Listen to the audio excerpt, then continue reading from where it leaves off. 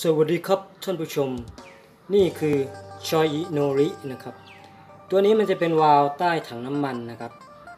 ปัญหาที่พบก็คือว่าตรง ตรงยางรองตรงนี้นะครับ มันเริ่มสึกแล้ว เราจะเปลี่ยนยางรองนะครับ เพราะว่าถ้ายางรองไม่ดีน้ำมันมันจะซึมแล้วก็มีตรงจุดนี้นะครับ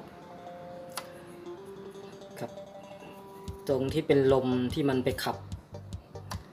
ไดอะแฟมตรงนี้นะครับ มันจะมีจุดตรงนี้ที่เราเสียบไว้เฉยๆเราไม่มีตัวล็อก เดี๋ยวจะเอาเอาตัวมันล็อกด้วย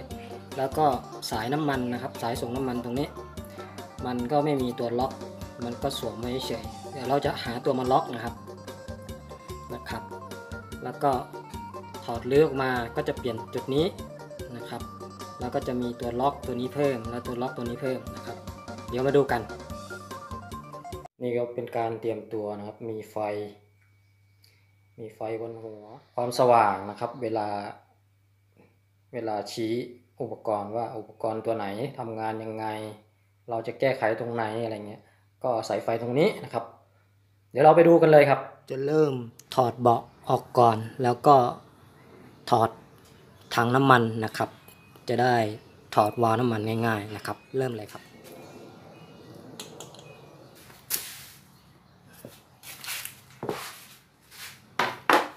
นี่จะเป็นเบาะที่เราถอดออกมาแล้วนะครับ ครับฝาถังน้ำมัน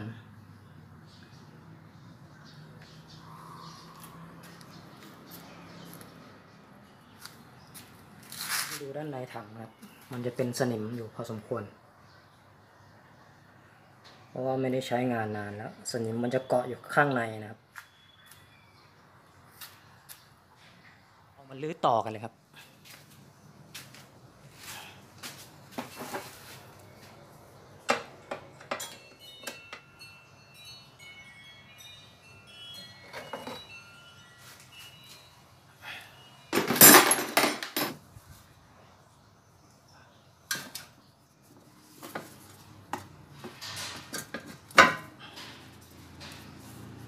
หมดสภาพไปแล้ว มันเป็นยางคล้ายๆยางเป็นแข็งไปแล้วเพราะมันไม่ได้ใช้นาน เดี๋ยวจะทำการตัดออก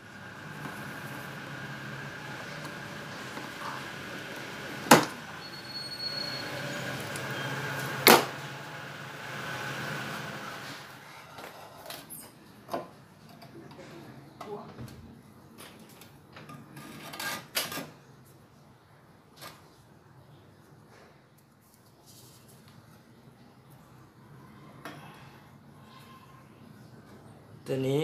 เป็นที่ลมมันมันดูดนะครับ ให้ไดอะแฟรมทำงาน แล้วส่วนนี้จะเป็นที่น้ำมันไม่ได้ใช้งานนานๆเนี่ยไอตัวเนี้ยมันจะแข็ง พอมันแข็งแล้วมันก็ใช้ไม่ได้นะครับนะครับ คือปัญหาคือว่า พอสายเราไม่มีตัวล็อกเนี่ยน้ำมันมันซึมออกได้นะครับ น้ำมันมันจะมีมีการระเหยการ การซึมออกมาได้ตรงนี้นะครับไปเราจะมีตัวล็อกตรงนี้นะครับ ส่วนยางตรงนี้เราจะเปลี่ยนนะครับเพราะว่ายางตรงนี้มันมันหมดสภาพไปแล้ว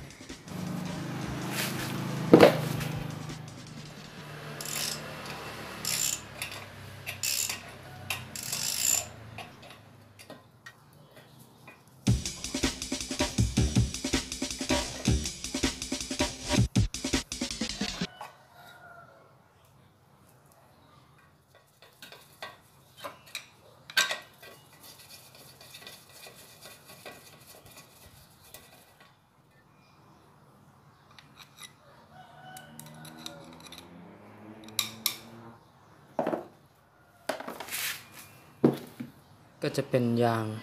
ยางรองนะครับ ซึ่งมันหมดสภาพไปแล้วพอหมดสภาพไปแล้วเราก็จะเอา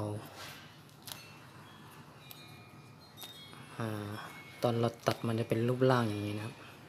อันนี้คือวาล์วน้ำมัน อันนี้คือยางรอง เราใช้ยางในรถจักรยานยนต์เรานี่แหละครับนะครับ ตัดให้เป็นรูปนี้นะครับ ขอได้ตามร้านซ่อมมอไซค์ทั่วไป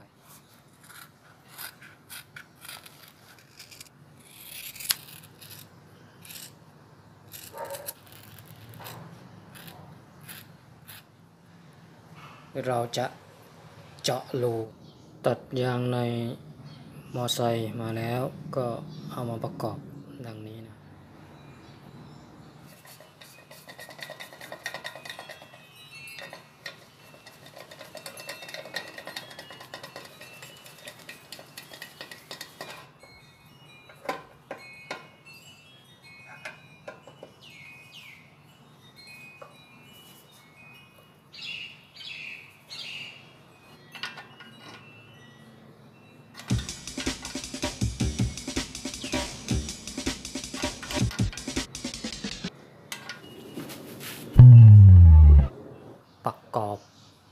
วาล์วน้ำมันเข้ากับถังน้ำมันเรียบร้อยแล้ว แล้วก็จะประกอบชุดถังน้ำมันเข้ากับโครงของรถมอไซค์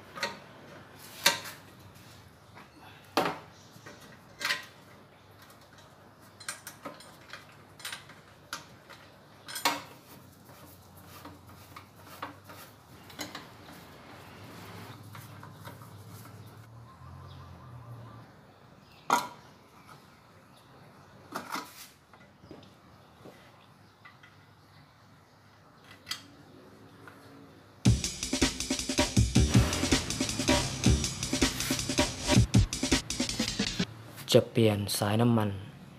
เป็นสายน้ำมันใหม่ เนื่องจากสายน้ำมันเดิม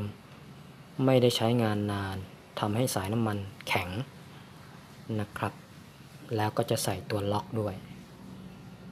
เริ่มเปลี่ยนกันเลย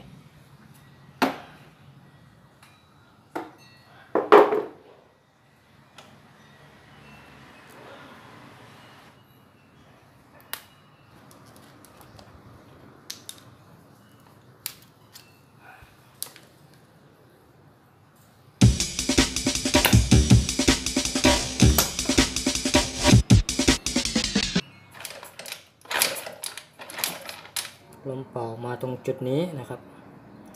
แล้วมันก็จะไปเป่าให้ เป็นลักษณะอย่างนี้นะครับ มันจะมาลมมันจะดันเข้ามาตรงนี้ แล้วทำให้ไดอะแฟมตรงนี้เคลื่อนที่ แล้วก็ไปดันน้ำมันออกมาตรงรูนี้นะครับ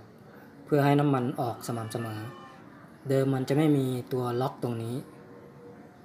เราก็เลยเพิ่มตัวล็อกจุดนี้ เป็นจุดที่น้ำมันออกนะครับ เดี๋ยวเราก็จะใส่ใส่สายน้ำมันเสร็จปุ๊บ ก็จะใส่ตัวล็อก จะใส่ท่อน้ำมันจากจุดนี้นะครับไปหาไปหาจุดนี้นะครับ นี้ ในท่อน้ำมันนี่มันจะมีมันจะมีตัวกรองอยู่นะครับ ตัวกรองฝั่งนี้มันจะเป็นมีแม่เหล็กนะครับ ตรงนี้มันจะมีแม่เหล็ก แสดงว่าน้ำมันมันจะเข้าจุดนี้นะครับ ถ้ามีสนิมมันก็จะเจอแม่เหล็ก แม่เหล็กก็จะดูดสนิมเหล็กไว้นะครับ แล้ว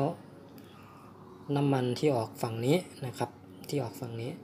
มันก็จะมีสนิมน้อยลงนะครับ อาจจะกองไม่ได้ทั้งหมด แต่ว่ากองได้บางบางส่วน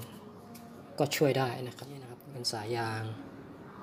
นะครับ สายยางนิ่มๆนะครับ หาซื้อได้ทั่วไปนะครับ ตรงปลายแล้วก็ใส่ชิปล็อกนะครับใส่ชิปล็อกลักษณะแล้วก็ดันเข้าไป ใส่สายน้ำมันติด clip lock ออกมาจากคาร์บูเรเตอร์พอออกมาจากคาร์บูเรเตอร์มันจะมี มีตัวกรองน้ำมันนะครับ ใส่ตัวใส่จุดล็อกตรงนี้แล้วก็ใส่ตัวกรองน้ำมัน ก่อนหน้านี้มันมีปัญหาคือว่า จอดรถทิ้งไว้แล้ว มันจะมีการรั่วซึมของน้ำมัน คือจอดรถไว้นานๆ แล้วน้ำมันซึมออกมา แล้วน้ำมันก็หายไปทั้งถังเลย ก็เลยมาเช็คดูว่ามันเกิดจากปัญหาอะไร ก็ตั้งสมมติฐานว่ามันน่าจะรั่วซึมออก ตรงรอยต่อตรงนี้กับรอยต่อตรงชุดที่มันเชื่อมต่อกับอุปกรณ์นะครับ ก็เลยติดตั้งสายน้ำมันใหม่นะครับ เป็นสายยางตัวใหม่ เพราะสายยางเดิมมันแข็งไปแล้ว แข็งแล้วมันก็เปราะไปแล้ว ไม่สามารถใช้งานอีกได้ ก็เลยเปลี่ยนเป็นสายใหม่นะครับ พอเป็นสายใหม่ก็ประกอบเข้าใหม่ ก็เลยใส่คลิปล็อกตรงนี้นะครับ ตรงตัวกองน้ำมันมันจะมีแม่เหล็กตรงนี้ใช่ไหมแม่เหล็กจับสนิม พอเชื่อมสายยางเข้าไปก็ใส่คลิปล็อกตรงนี้ ใส่คลิปล็อกตรงตำแหน่งทางเข้า ชุดกองน้ำมันนะครับ แล้วก็ใส่คลิปล็อกตรงตำแหน่ง ที่ออกจากวาล์วน้ำมันใต้ตูดถังน้ำมันจะลองสตาร์ทเครื่องให้ดูว่า ประกอบชุดนี้เสร็จเรียบร้อยแล้ว สตาร์ทเครื่องแล้วเสียงเครื่องจะเป็นยังไงนะครับ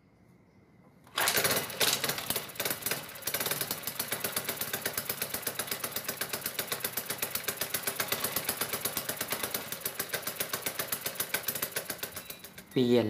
ยางรองวาล์วถังน้ำมัน เรียบร้อยแล้ว และ เปลี่ยนท่อน้ำมัน เรียบร้อยแล้ว